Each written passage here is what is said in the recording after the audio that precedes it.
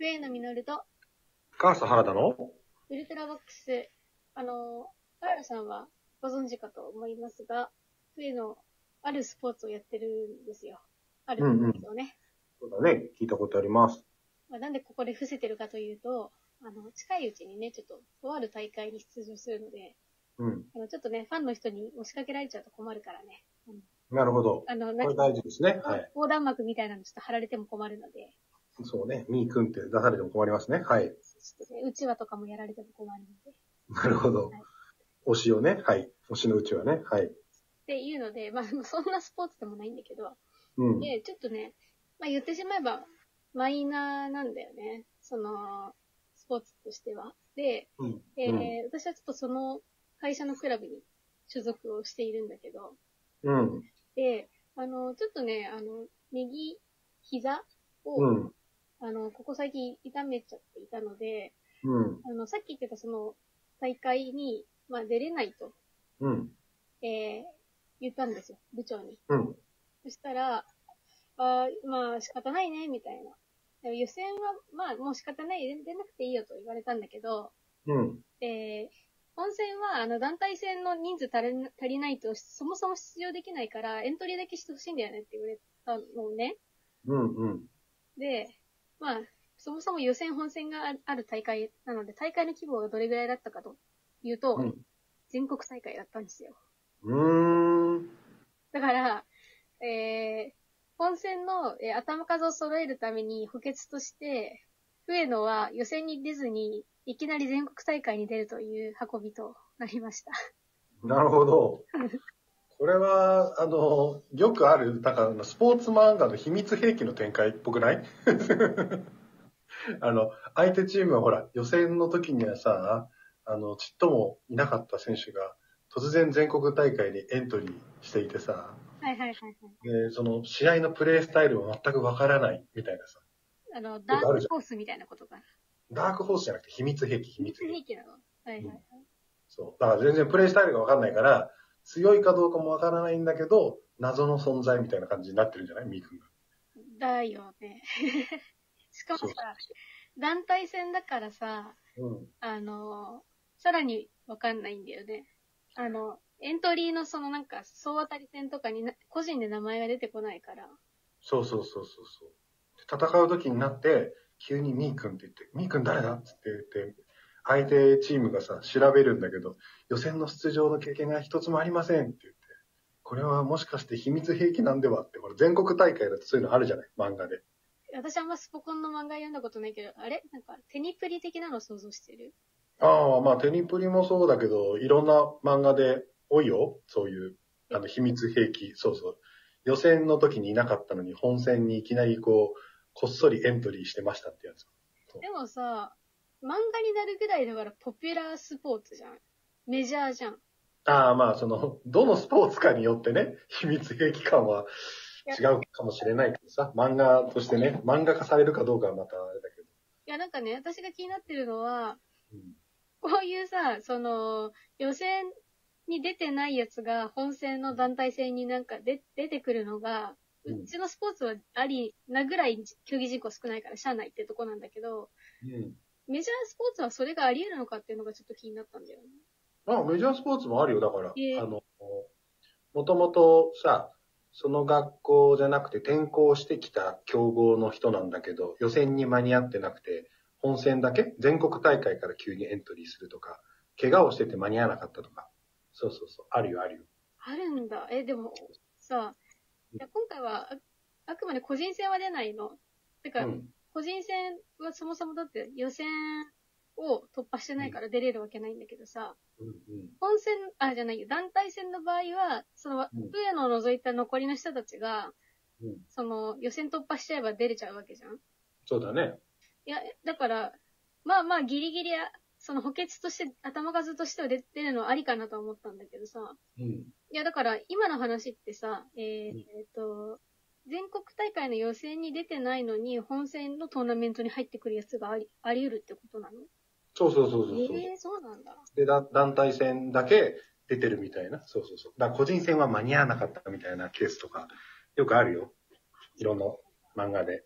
うんそそんな、そんなのがあるんだね。そうそうそう。まあ、それはともかくさ、うん。その、膝がを痛めたっていうそっちの方心配なんだけど、大丈夫なの？結構ほら、膝を使うスポーツじゃない？あの、素人だから俺は、詳しくわかんない、俺ですらなんか膝使ってるイメージがあるんだけど、あのスポーツ。うん。結構使っているね。いや、そう。うんこれでね、その右、まさに右膝だったんだけど、うん。えっとね、えっとね、まだね、あの、ほ骨に異常がなかったんだよ、レントゲン撮って。うん。だから、あの、なんていうの、MRI を取らないと、なんか軟骨レベルではちょっと測れないっていうので、逆に軟骨ってなると半月板の損傷疑いじゃないかなと言われて。あれ？それって結構深刻なやつなんじゃないの？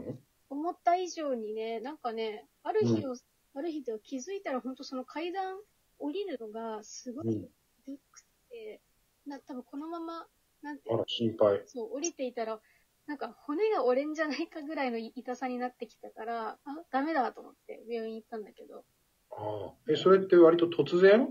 うん、ちょっと、徐々に徐々に痛くなって、ズドンっていう感じなの？うーん、この表現が難しいんだけど、うん。毎日ちょっとずつ痛かったけど、なんかこの階段を降りるちょっとした踏み外しのきっかけでものすごい激痛が走ったとか、そんな感じ？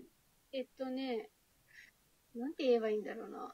で、なんか、それこそ外出するシチュエーションがあって、うん。で、外に出ました。で、歩い、なんか普通にいつも通り歩いてました。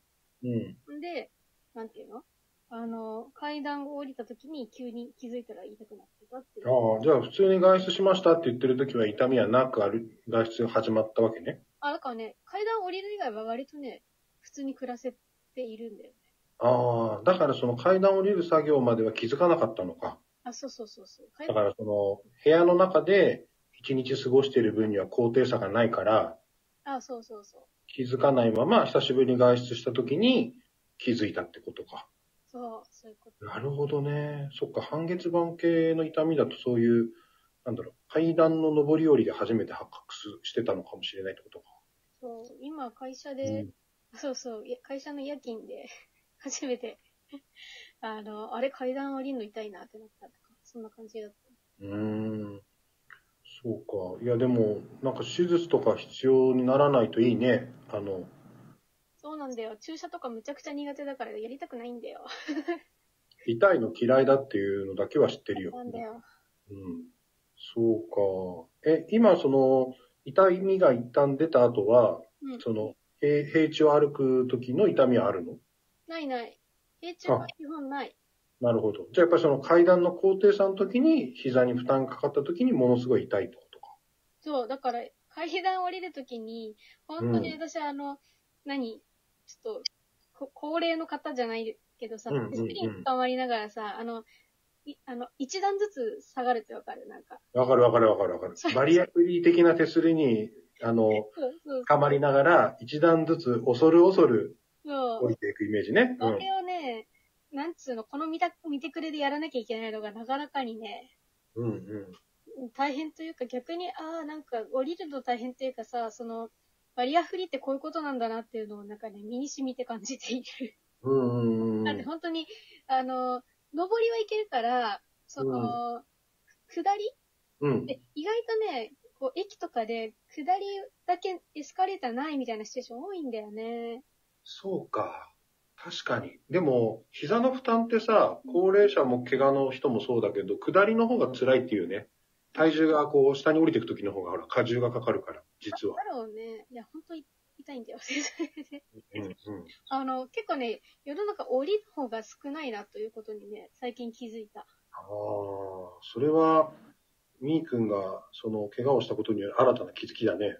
うん。そううん。確かに言われてみると、下よりも登登りますよっていうのをね、なんなんとか改善しましたっていうエスカレーターの方が確かに多いね。そう。だからまあそう、本当に最近、その通勤経路とかの、うん。なんだっけ、エレベーターある場所とかめっちゃ探すようになった。ああ、そうかそうか、乗り換えとかね。ちょっとだけ平坦な道を歩いてでも、うん。そのエスカレーター下りとかエレベーターがついてるみたいなところで乗り換えるってことねそう。膝の負担がないようにね。それは大変だな、みーくん。なんですよ。や、だそうか。いや、ね、ちょっとこのコロナもあって、久しくお会いしてないから、まさかその、うん膝の非常自体は知らなかったよ。うん。いや、だからさ、その、頭数揃わないから補欠として出るとしてもさ、うん。出たくないわけよ、その試合自体には。だから、けど出たい出着たくない物になってないからさ。出れないじゃない、今。うん。まあまあ、だから、うん。なんつうの、膝使わないままちょっとま、ま、負けちゃう人になるかさ。うん。まあなんかだ、から、究極の秘密兵器としては、秘密兵器が登場する前に、えーこれまでの予選も勝ち抜いたメンバーで優勝してもらえればいいってことね。そうそう。そうするとすごいよ。私何もしてないのに、勝手に団体戦優勝になっちゃうからね、全国大会。そうそうそう。だから、究極の秘密兵器ってことね。まあちょっと、究極の秘密兵器になれるように、あの、周りの人に頑張っていただきたいと思います。はい。はい。というところで、はい、今回は、えー、フエの突然の全国大会出場というお話でした。はい。お相手は私、フエのみのると、母さん、原田がお送りしました。それではまた、ウルトラボックスでお会いしましょう。